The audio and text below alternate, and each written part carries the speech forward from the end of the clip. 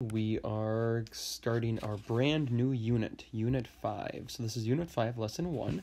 Uh, before we get into it, we're going to read our goal, and I can calculate. Everybody read it with me at ready? I can calculate the area and perimeter of different shapes. So you're going to see this looks kind of similar to our last goal, uh, or our last lesson, um, 7 9, because um, it was really similar goal. And like I kept on saying, um, when we got to Unit 5, we were going to be getting to explore more about area and perimeter. And so um, typically, um, like the way the whole math curriculum is laid out, you would would have done five first in unit that lesson seven nine would have been more of a review, um, but uh, all of the teachers in Eden Prairie um, we kind of changed up the order of things, um, but so now we get to go do more of like a big deep dive into area and perimeter. Gonna just review a few of these vocabulary words. Remember that calculate means total. Um, so some so if you're gonna do perimeter, you're gonna be adding up all of the sides. Doing area, we're gonna be multiplying length times width. Um, for that for that formula, you know, area equals length times oops, times width. So um, we're going to get to do that for the calculations, and we're going to be finding that area and perimeter. Um, now remember that area is the amount of space inside something. So up there, uh, and perimeter, right there, is the distance around something. So I have this uh, little rectangle over here. And I always think I, you know, I've, I said it both back in lesson seven nine. Um, so I think about perimeter is kind of like a fence. So if I'm thinking about like a pool, like a pool at the park that Carol loves to go to, um, we have a fence um, that protects you know from any, anybody from getting into the pool, especially maybe like little kids who might not know how to swim very well yet.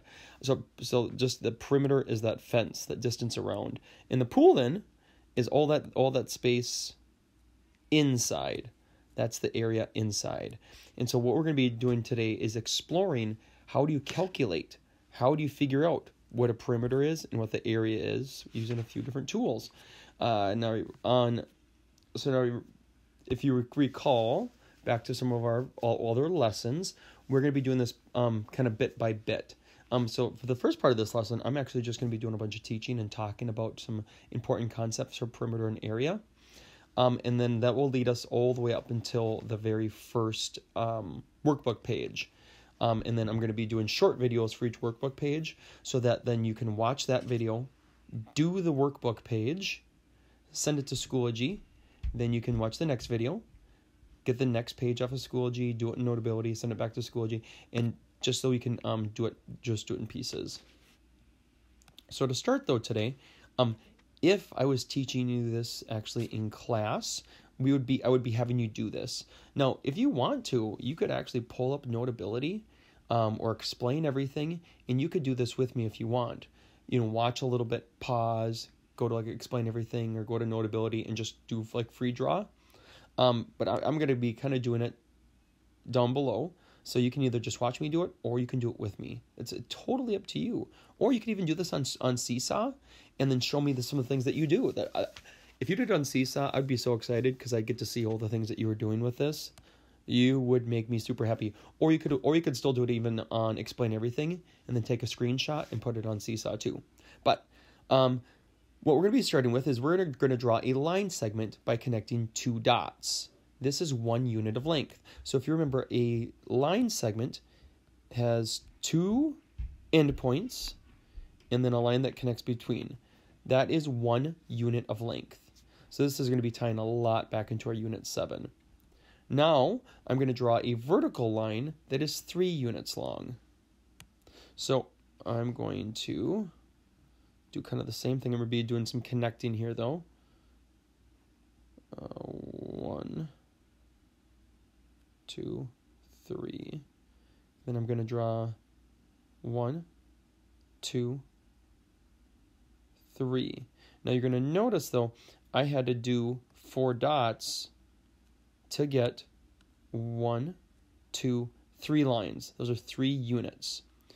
Now I can notice how one unit, one unit length line segment used two dots, and a three units line long segment used four dots. And so we're going to be using that kind of, we're going to be using these dots and these lines to calculate perimeter and area. So I'm actually going to shorten this one up just a tad bit. And then I'm going to do the same thing going here.